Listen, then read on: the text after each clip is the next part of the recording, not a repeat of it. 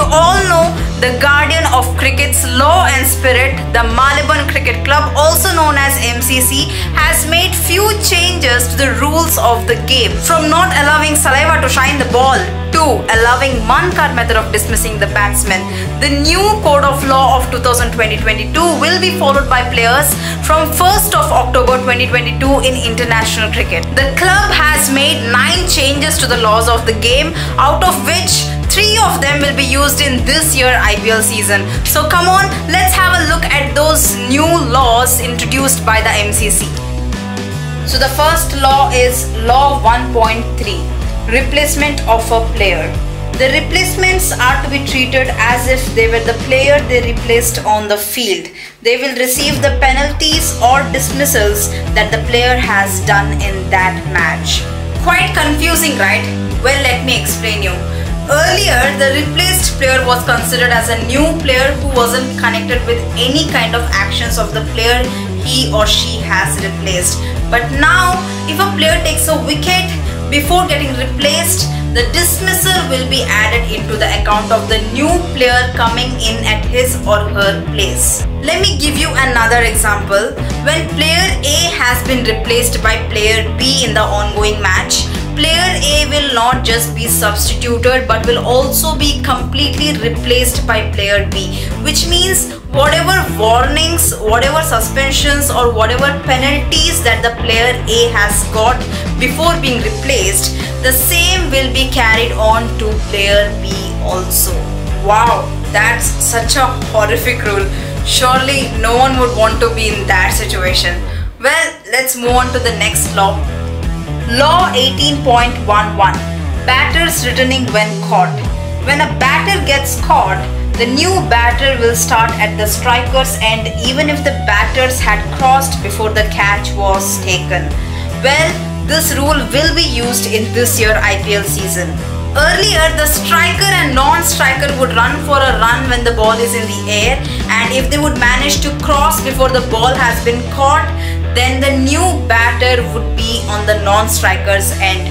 But this won't happen, the new rule won't let this happen anymore the new batter will take the strike unless it's the last ball of the over. This change was first seen in the tournament called the 100 which was held in England and this law is specially designed to reward the bowlers to get wickets. Law 20.4.2.12 Dead Ball The new law will allow the umpire to call it a dead ball when either side is disadvantaged by a person, animal or other object within the field of play. Earlier, it was considered as a legal delivery when a run or boundary or a wicket was taken just before the interference. But now, according to the new law, the ball will be called as a dead ball. Law 21.4 Bowler throwing towards striker's end before delivery. If a bowler throws the ball in an attempt to run out the striker before entering the delivery stride, then it will be called as a dead ball. Till now it was called as a no ball. Obviously it's a very rare situation and am I the only one who never knew about this rule? Law 22.1 Judging a wide Law 22.1 has been amended to take away the unfair advantage from the batters.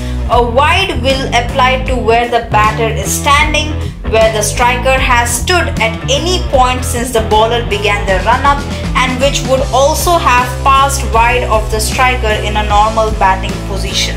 So we all know how the batsmen nowadays change their stance and position from here to there to distract the rhythm of the bowler especially in T20 format. Earlier despite the sudden change in stance and position from the batter, the wide deliveries were given on the basis of where the batter ended up.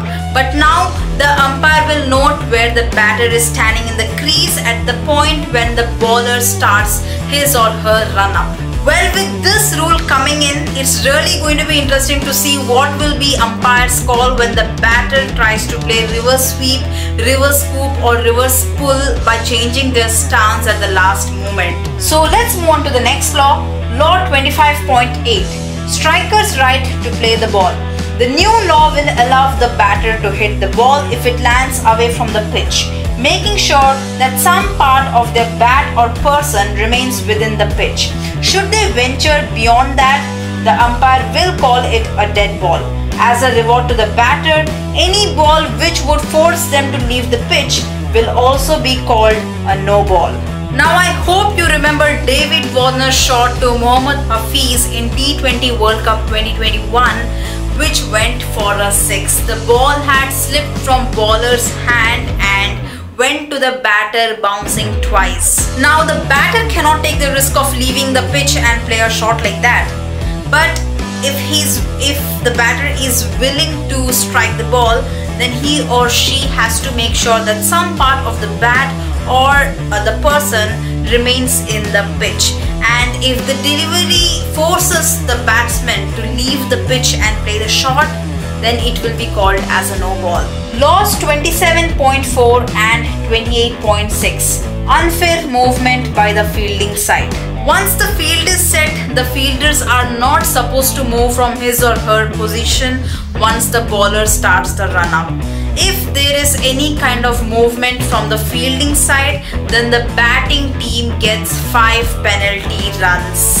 Earlier, umpires used to signal it as a dead ball, but now not anymore. The fielders have to be really careful here. Law 38.3 Moving the running out of the non-striker. The act of running out batter at the non-striker's end by the bowler while running up, often called as mankading, has been moved from Law 41 unfair play to Law 38 run out. Well, this law is quite simple to understand who can forget the incident which took place in 2019 IPL where Ashwin mankaded Jos Buttler? There was huge controversy about this as some called the act not in the spirit of the game. Putting an end to the so-called unfair play, the MCC has decided to officially call it as a run out and will be no more called as an unfair game. And this rule will be added in this year IPL season. Law 41.3 no saliva. This law will not permit the use of saliva on the ball, which also removes any grey areas of fielders eating sugary sweets to alter their saliva to apply to the ball. Using saliva will be treated the same way as any other unfair methods of changing the condition of the ball. Shining the ball is an important role from the bowler's point of view, but using saliva to shine the ball is strictly prohibited now. This decision also eliminates the chances of players chewing gum to thicken their saliva so that they can apply it on the ball. However, they can use their sweat to shine the ball and moreover, this rule will be included in this year IPL season.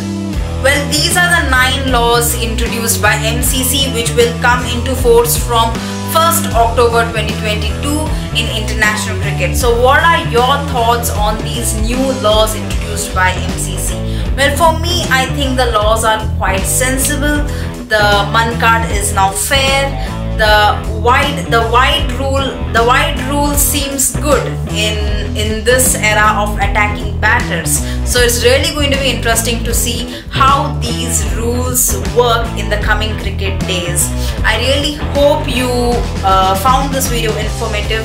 If you did then do click the like button and also share it with your friends. And if you didn't subscribe my channel do subscribe my channel. And yeah see you in my next video. Till then bye bye take care